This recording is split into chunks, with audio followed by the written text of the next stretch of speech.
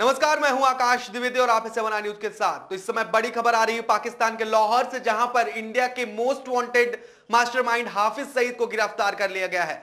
India का most wanted 26 ग्यारह मुंबई हमले का मास्टरमाइंड और जमात उल दावा के सरगना हाफिज सईद को पाकिस्तान में गिरफ़्तार कर लिया गया है।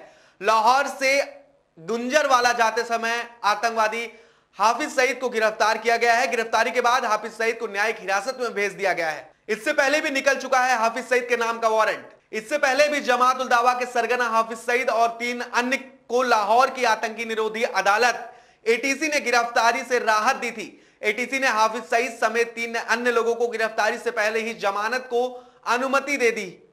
हाल ही में आतंकी संगठनों के खिलाफ कार्रवाई करने के बढ़ते अंतर्राष्ट्रीय दबाव के बीच पाकिस्तान ने हाफिज सईद और उसके 12 सहयोगियों के खिलाफ आतंकी फंडिंग के 23 मामले दर्ज किए थे।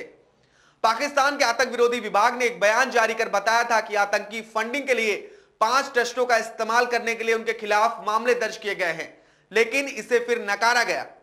आतंकी हाफिज सईद पाकिस्तान में जमात उल दावा नामक संगठन चलाता है। 2008 में मुंबई हमले का मास्टरमाइंड और सूत्राधार रहा, जिसमें एक लोग मारे गए थे। इसी हमले के बाद अमेरिका ने इसके सिर पर एक करोड़ डॉलर का इनाम घोषित कर रखा है। 2006 में मुंबई ट्रेन धमाकों में भी इसका हाथ रहा है। सन 2001 में भारतीय संसद तक को इसके आतंकियों ने निशाना बनाया था। हाफिज एनआईए की मोस्ट वांटेड सूची में शामिल है। भारत सहित अमेरिका, ब्रिटेन, यूरोपीय संघ, रूस और ऑस्ट्रेलिया ने इसके संगठनों को प्रतिबंधित कर रखा।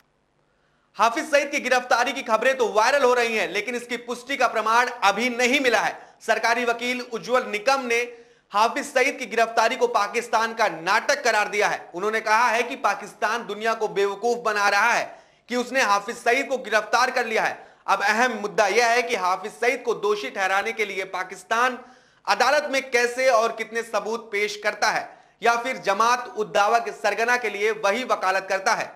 सेवन आई न्यूज़ के लिए फिरोजा खान की रिपोर्ट। फ़िलहाल अभी के लिए इतना ही, लेकिन खबरों का सिलसिला लगातार जारी है। बने रहिए सेवन आई न्यूज़ के साथ। तब तक के लिए नमस्कार।